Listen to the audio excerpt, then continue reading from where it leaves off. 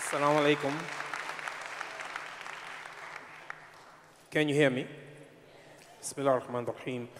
I'm a bit under the weather, so with your permission, I give my talk sitting. If you order me, I go stand. Gotta talk to me now. I'm good? I am. I was blessed in 1978 to study at Umm Qura University, and I had three teachers. Sheikh Jafar, Sheikh Idris from Sudan, he taught us uh, Aqidah. Muhammad Qutb, the brother of Sayyid Qutb, wrote the book um, Islam, the Misunderstood Religion. He taught us Dawah. And my favorite teacher, Sheikh Hussein Hamid Hassan from Egypt, he taught us fiqh. Whenever I asked a question, he gave me typical three answers. He said, We have three opinions. Ahmed ibn Hanbal, this is his opinion, and this is the evidence that he gave. Imam Shafi'i has a different opinion. This is his opinion, and this is the evidence he gave. Imam Malik has a third opinion. That man can teach us fiqh. I can't do that. And wallahi, Sheikh Mohammed Ninowy, I said the same thing that what I'm going to talk about today that I think that you will benefit is love. And, and, and, and I think that the ummah right now needs love. لا تدخلوا الجنة حتى تؤمنوا ولا تؤمنوا حتى تحبوا. You will never go to Jannah until you believe, and you will never believe until you love one another. How important is that? A few years ago, I was at Newark Airport, and I was at a terminal trying to determine how to get to my terminal. And a car came by and said, Do you need help? I said, Yes, I'm trying to get to such and such terminal. He said, Get in the car. The first thing he said to me is, Assalamu alaikum. And there was nothing about him to make me think he was Muslim. So, my question to you should I return the salams? Of course. He said to me, I am a Muslim from Saudi Arabia. And me and my wife have been married for years and never had children. Can you make dua for me? I said, Of course. He will never know for two weeks straight. Every night I begged Allah for this man and his wife to have a baby. This man, there was nothing about him to make you think he was Muslim. His dress, nothing. No kufi, you don't need a kufi to be a Muslim. No beard, sunnah, no khamis. So my question to you, should I return the salams? Of course, I did. I went to Memphis, Tennessee, and maybe some brother heard about that. And he said to me, Imam Siraj, me and my wife been married and never have chil- had children. Can you make dua? I did. Week or so. Came back the next year. That same brother came to me with a baby in his hand and put the baby in my arm and said, Imam Siraj, thank you for your dua.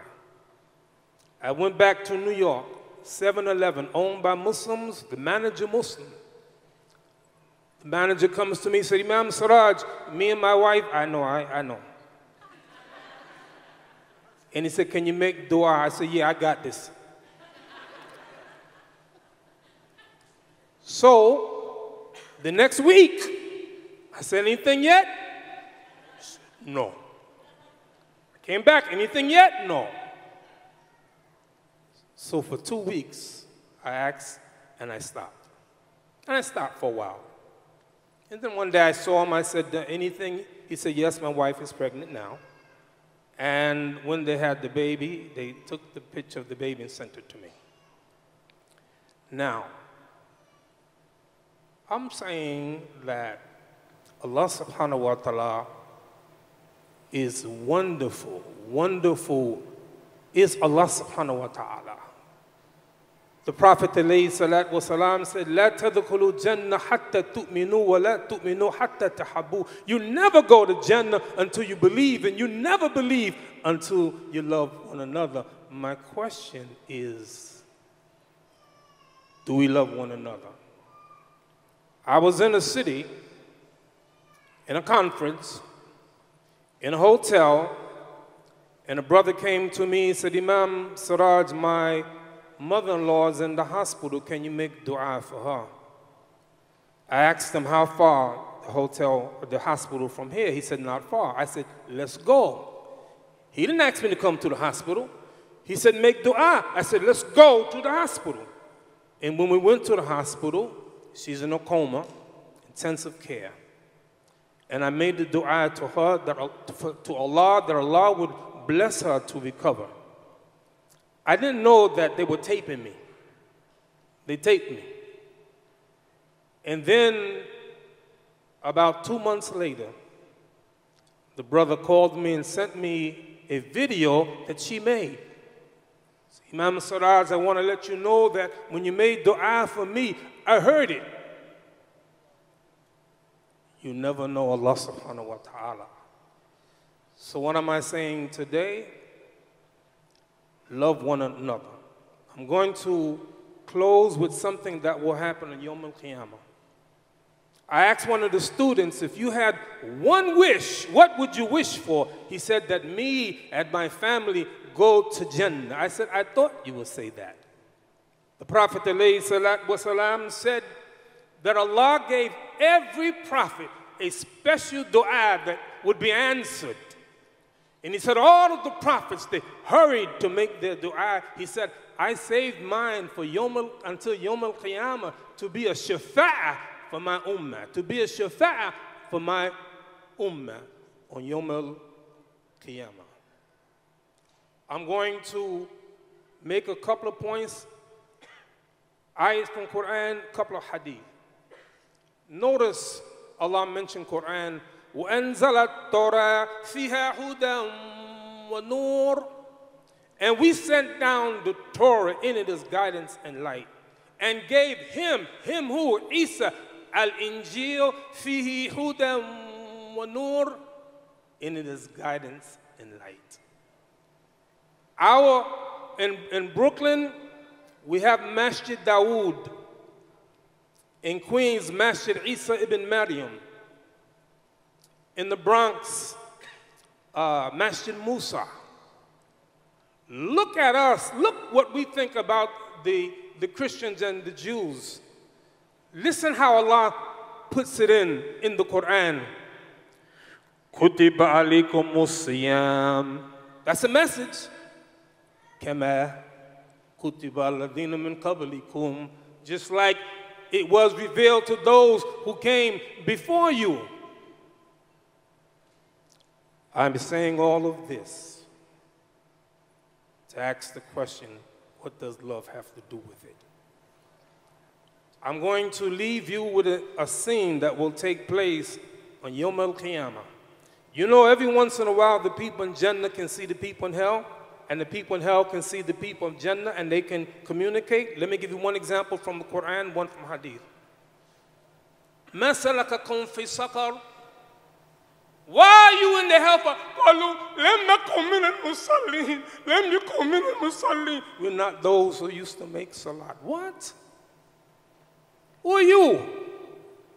The Prophet والسلام, went to the heavens and Allah ordered him to make 50 prayers a day for the job to be ذلك حتى مرات على Musa. And I returned with it until I ran into Musa. and he said, What did Allah order you? 50 prayers a day. Go back to your Lord. Your, your people won't be able to do that. And so the prophet, he goes back, and Allah reduces, and every time he goes to Musa, Musa says, Go back, and he goes back until it's five. Five prayers a day. Who are you Who are you? Allah ordered us to make prayer five times a day. Who are you? So let me end with something that's going to take place on Yom Al Qiyamah. Hadith. Muslims will look and see their brothers in the hellfire. ربنا إخواننا كانوا يصلون معنا. Oh Allah, our, our brothers, they, they used to pray with us. ويصومون معنا and they fasted with us. وتحجون معنا and they made hajj with us. You ought to ask the question right now. I feel like I want to stand up. No, I better sit down. They used to pray with us. There's a hint there.